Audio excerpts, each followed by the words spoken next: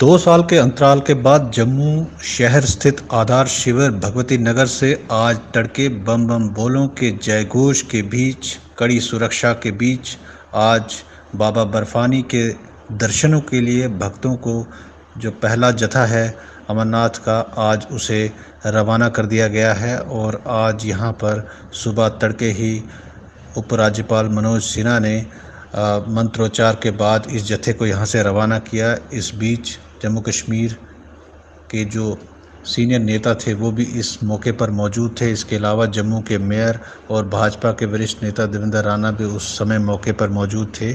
और जय घोष के बीच यहाँ से जो पहला जत्था था, कड़ी सुरक्षा के बीच, वो कश्मीर की ओर उसने रुख किया है। और अभी तक की जिस तरीके से सूचना आ रही है, जो पहला जत्था है वो कश्मीर जो है वो पहुँच चुका है और कल से जो बालटाल के बाद उनका जो दूसरे दिन का पड़ाव है वो शुरू होगा।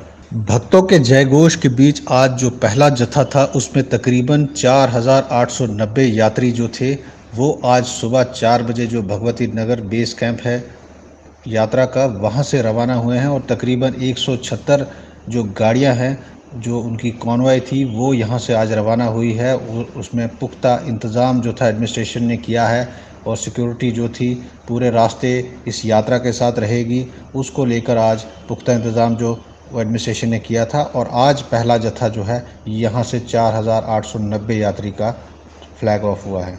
हम आपको बता दें कि दो साल के अंतराल के बाद श्रद्धालु जो हैं, बड़ी मात्रा में जम्मू कश्मीर की ओर रुख कर रहे हैं और इस साल उन्हें उम्मीद है कि बाबा बर्फ़ानी के दर्शन जो हैं, वो सुगम तरीके से हो जाएँगे और लोग जिस तरीके से दो साल के बाद इतना लंबा इंतज़ार करने के बाद इस बार उन्हें मौका मिला है कि बाबा बर्फ़ानी के दर्शन करें और लोग बढ़ चढ़ कर सामने आ रहे हैं और प्रशासन ने भी सुरक्षा के पूरे पुख्ता इंतज़ाम किए हैं और इस बार चप्पे चप्पे पर सीसीटीवी कैमरास, इसके अलावा सिक्योरिटी फोर्सेस की अलग अलग एजेंसीज जो हैं, वो भी काम कर रही हैं और ऐसी हर एक कोशिश की जा रही है कि इस यात्रा को सुगम बनाया जा सके और इसमें जिस तरीके से हर बार हमारा पड़ोसी मुल्क कोशिश करता है कहीं ना कहीं यहाँ पर खलल डाले और जम्मू कश्मीर का माहौल ख़राब करे। उसको लेकर भी एजेंसीज जो हैं, वो चौकस हैं और हर एक कोशिश की जा रही है कि ये यात्रा जो है, इस बार बहुत आराम से हो और जिस तरीके से लगातार दो सालों का असर कोविड का इस पर रहा, इकोनॉमिक स्टेटस भी जो है, इकोनॉमिक कंडीशन जो है, वो जम्मू कश्मीर की भी यात्रा पर निर्भर करती है। ख़ासकर कश्मीर के लोग इस समय बढ़ चढ़ सामने आ रहे हैं और वो वेलकम कर रहे हैं। यात्रा का अलग अलग एरियाज़ में जो लोग हैं, वो इकट्ठे हो रहे हैं। नाशरी की बात करें, वहाँ पर भी लोग इकट्ठे होकर यात्रा का स्वागत कर रहे हैं। इसके अलावा कश्मीर के अलग अलग एरियाज़ में जो स्थानीय लोग हैं, वो भी इसका स्वागत कर रहे हैं और वेलकम कर रहे हैं कि दो साल के बाद उन्हें भी उम्मीद है कि इस बार जिस तरीके से यात्रा तो लोगों को मिलेगी ही, इसके अलावा इकोनॉमिक कंडीशंस जो हैं लोगों की, वो भी उसमें असर पड़ेगा। और जम्मू कश्मीर जिस तरीके से पहाड़ी एरिया होने के बावजूद यहाँ पर मैक्सिमम यात्रा पर डिपेंडेंसी है लोगों की आमदन की और इस बार काफ़ी ज़्यादा लोग खुश हैं। जो लोग घोड़े पालकी चलाते हैं, वो भी इस समय काफ़ी ज़्यादा उत्साहित हैं और उनका कहना है कि वो यात्रा को बड़े अच्छे तरीके से देख रहे हैं और वेलकम कर रहे हैं क्योंकि उनकी इकोनॉमिक कंडीशन भी इसी पर निर्भर करती है।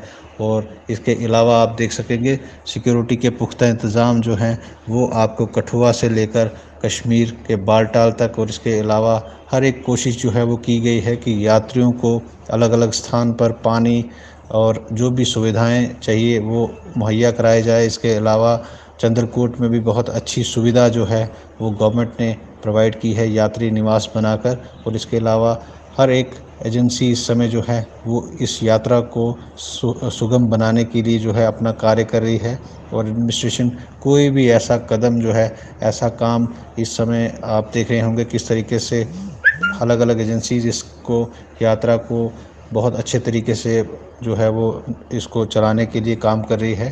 तो आज हम आपको बता दें कि पहला जो जत्था था तकरीबन चार हज़ार 4,890 लोगों का जो पहला जत्था था उसे आज सुबह चार बजे फ्लैग ऑफ़ किया गया भगवती नगर से।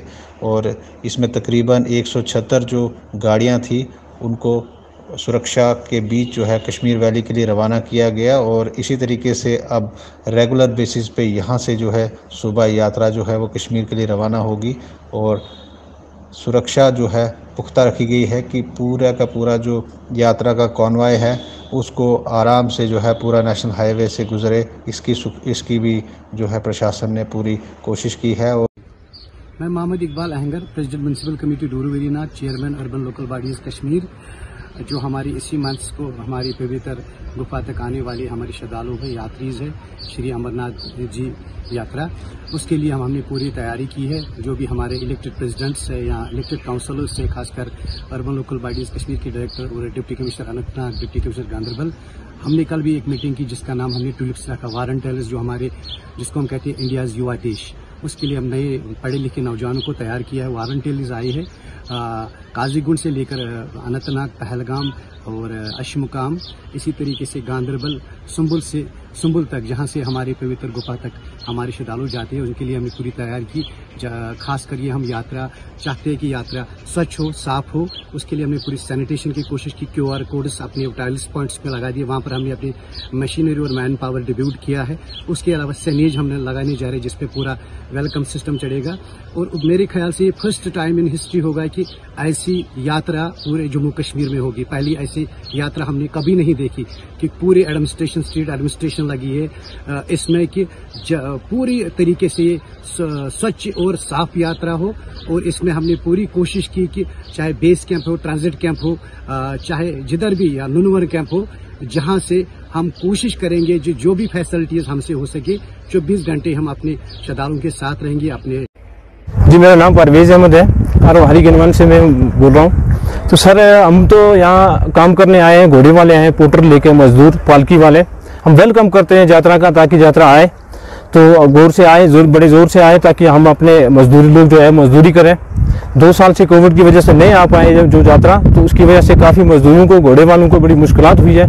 इस बार उम्मीद रखते हैं कि यात्रा ज़ोर से आएगा, बड़ी गौर से आएगा।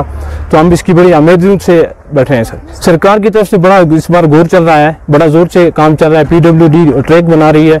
अपने पीडीडी वालों ने लाइट का इंतज़ाम किया, बाकी डिपार्टमेंट जो है फोर्सेस अपनी सप्लाइयाँ चढ़ा रही है, अपने कैंप फिट कर रहे हैं। तो शाइन बोर्ड भी अपना काम कर रहे हैं, बड़े गौर से काम कर रहे हैं इस बार। हम वेलकम करते हैं ताकि जो भी हमारे आवाज़ सुने, ताकि अच्छे तरीके से आए यात्रा का, कोई भी किसी तरीके की कोई भी प्रॉब्लम नहीं है, ताकि अच्छे तरीके से आए, अपना दर्शन करें, हम लोग भी अपना रोज़गार से हेलो जी। मेरा नाम आशुतोष है, मैं बरेली तो रहने वाला यूपी से आया हूँ। अरेंजमेंट यहाँ के बहुत अच्छे दो साल बाद यात्रा शुरू हुई है। काफ़ी लोगों में उत्साह है, हम काफ़ी बीस पच्चीस लोग आए हैं यहाँ।